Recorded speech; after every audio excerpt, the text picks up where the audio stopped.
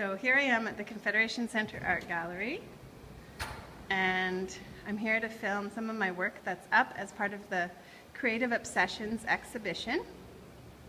So I got a whole big wall.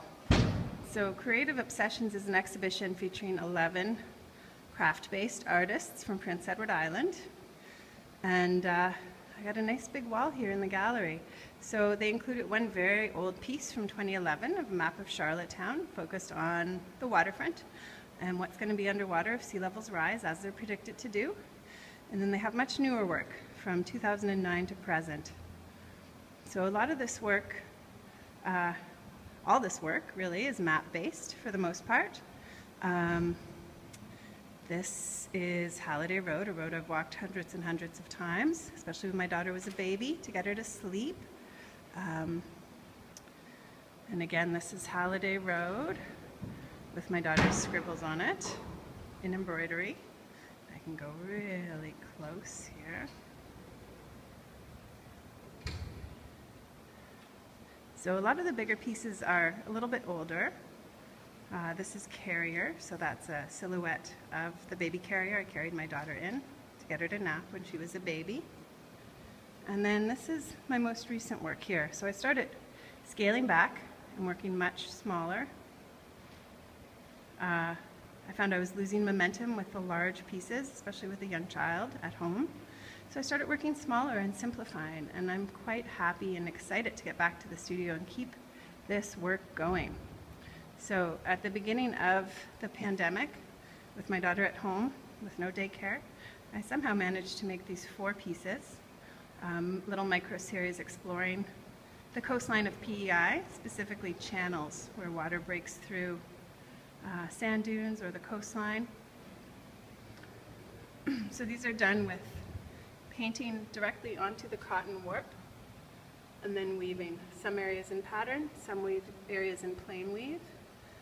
I'm very excited about this new work and kind of itchy to keep it going on my new little table loom that I just purchased.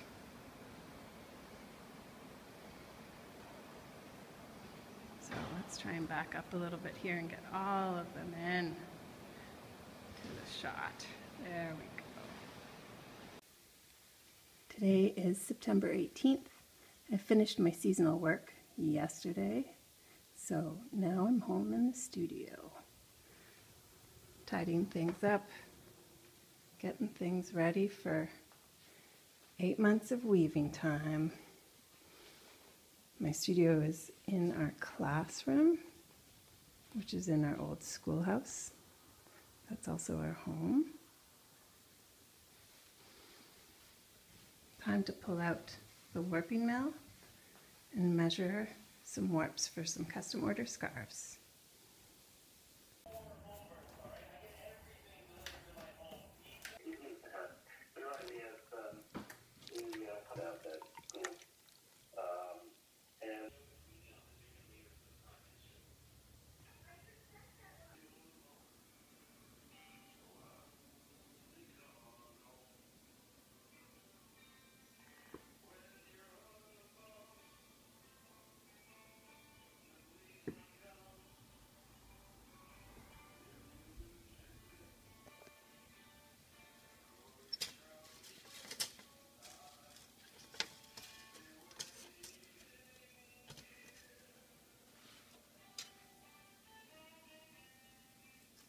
It's a lot easier if I have two hands.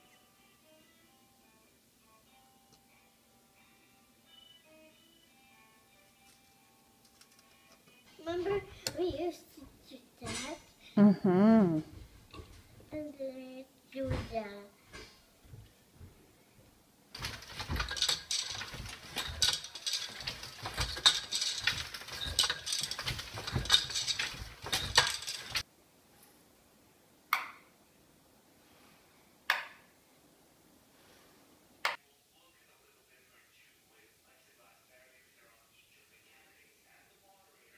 So today I finished setting up my new little table loom for the very first time. Did some sample weaving. I'm doing this beautiful plaited twill pattern. Had a few threading mistakes I had to fix. And now it's all set up in a way that I've been thinking about for weeks and weeks. And I'm ready to paint my warp. So I'm going to use a stencil that I've created. I just have to cut it out and mix my colors and get painting and then let it dry and then start weaving. It's so cool. I'm so excited about it. I got the first layer of the stencil assembled and on the warp and ready to go. I'm going to mix some fabric dye and start painting it on. First layer of Flat River painted. Still pretty wet. I'm going to prepare the stencil for the next layer of color. Second layer of dyes on.